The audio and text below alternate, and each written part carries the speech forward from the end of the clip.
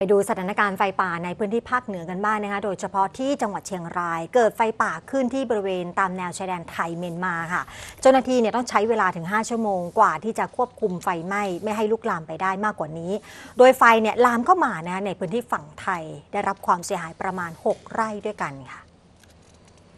เมื่อวานนี้นะคะได้เกิดไฟไหม้ป่าละเมาะนะคะที่บริเวณแนวชายแดนไทยเมียนมาฝั่งไทยก็คือที่หมู่บ้านผาฮี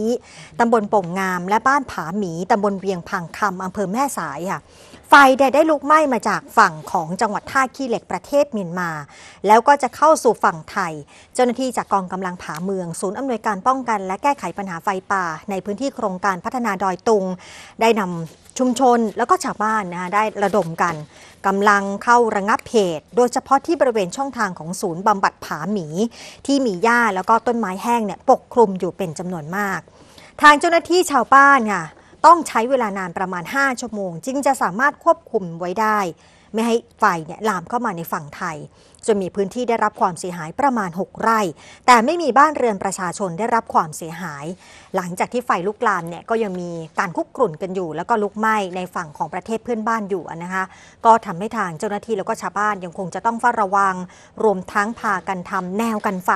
เพื่อป้องกันไฟที่อาจจะลุกลามเข้ามาอีก เพราะฝั่งไทยเนี่ยมีต้นไม้ค่ะ โดยเฉพาะนะคะเขาบอกว่าเป็นต้นสนเนี่ยหนาแน่นทีเดียว แล้วก็มีบ้านเรือนพี่น้องประชาชนอยู่ในพื้นที่ดังกล่าวจำนวนมาก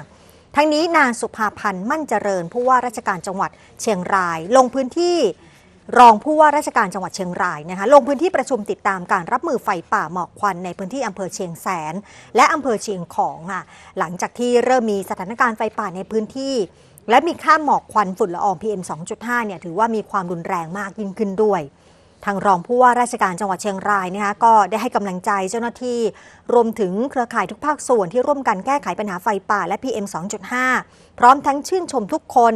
ในการเสียสละแรงกายแรงใจในการทำงาน โดยทางจังหวัดเชียงราย พร้อมให้การสนับสนุนภารกิจป้องกันและแก้ไขปัญหาไฟป่ารวมถึง PM 2.5 อย่างเต็มที่ค่ะ